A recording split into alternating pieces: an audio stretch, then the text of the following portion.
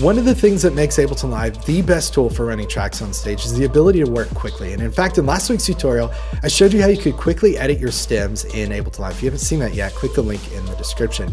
But if you're editing stems uh, uh, to duplicate song sections, delete song sections, then the next step you have to take to make this sound great and work live is you should be adding crossfades between your song sections.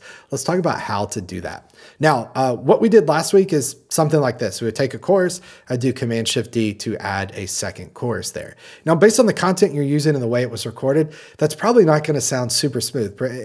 For example, if you have a drum uh, part where maybe someone's uh, doing a cymbal swell, they're hitting a cymbal, if you cut that just wrong, uh, it's going to sound off. It's going to sound uh, a, a little weird. So one of the easiest ways to fix that is to add a crossfade between those edited song sections. Here's how easily we can do that. Now, typically what I'll do is I'll zoom in at Ableton Live uh, to uh, around that song section, I'll right click to change my grid to be quarter notes so I can see this. And I typically go uh, uh, about two quarter notes on either side of this. So on the left hand side of my edit, on the right hand side of my edit, uh, you could change the amount of time that you want based on the song.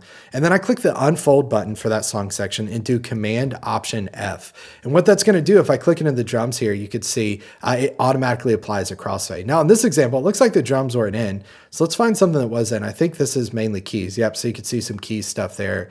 Organ looks like it's not in. Keys one is slightly there. Keys two is slightly there.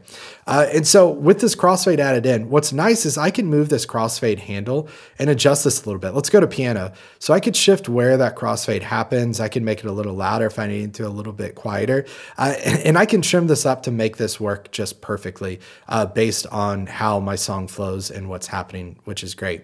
Um, also, you may end up going, okay, I actually don't need a crossfade between this particular song section here. So I could, uh, you know, drag this out to, to move this. Um, I could shift this, uh, this clip over to get rid of the crossfade like that. Uh, we could get rid of this fade here.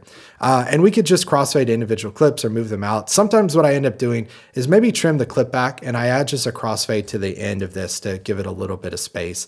Uh, that often helps if I have like uh, a, a, drum part where the cymbals are swelling or they hit a cymbal and then we go into a low section. I might trim that drum part to be just a, a little different.